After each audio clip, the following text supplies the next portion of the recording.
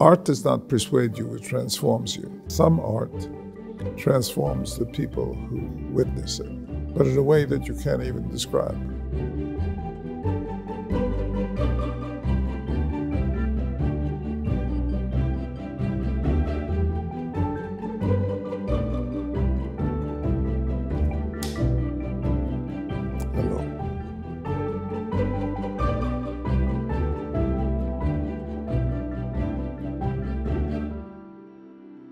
The main problem with everyone is preconceptions and thinking you know everything. And then you discover, uh, particularly at my point in life, you know nothing. Belief is basically an end to observation and to understanding.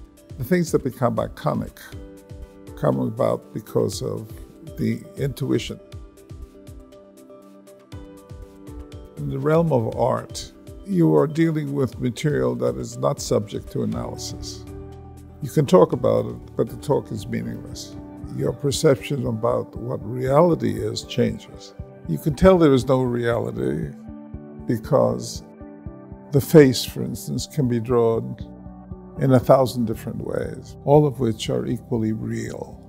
What we are doing in the act of drawing is becoming attentive. And attentiveness is the great benefit of drawing. You can also be attentive about your life and raise to awareness what it is you're doing. This is not only a designer's question, this is a question for every human being. You pay attention for the first time without preconceptions. Oh, if that were easy to do, what a wonderful life this would be. But it's not. It's exceedingly difficult to accept what is in the Buddhist sense. But when you draw, you try to accept what is. And you look at an ear for the first time and see the strange convoluted surface and the deep shadows that it makes and how it attaches to the head. Normally, you wouldn't see that ear at all.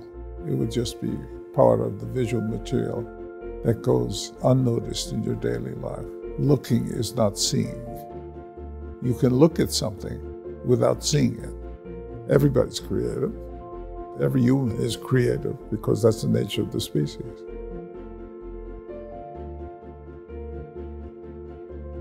The term is, it's now used as a noun. It's a way of congratulating yourself for your genius. Narcissism is not missing in our society.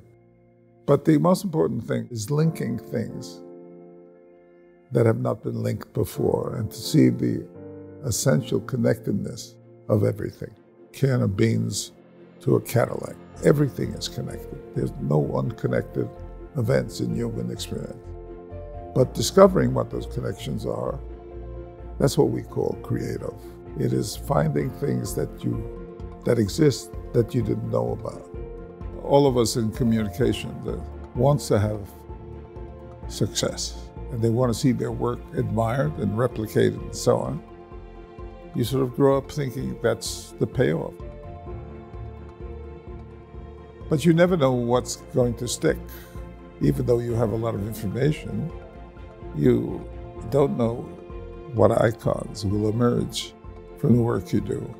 I find the most important question to ask people in marketing and advertising is Am I doing harm?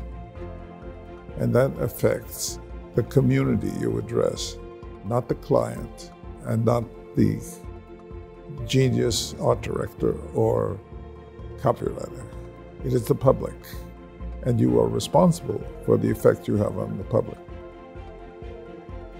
Collaboration is a natural characteristic of the species, and the mythology of art is that people have a unique talent and they have to dig in and discover their personal egocentric talent and then reveal that to the world and be celebrated and applauded for doing that.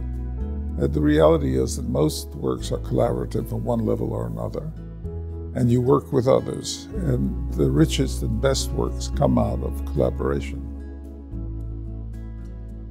But there's nothing for me more pleasurable than working in a group and being part of a collective effort to see you're working towards something you all believe is worthy and that you're all fulfilled in community work. Greatest thing I can think of for the species is for people to learn and to pass on what they've learned. If you were to say finally, well, what was your purpose? Which I suppose everybody at the end of their life asks themselves. I would say to have learned and passed it on.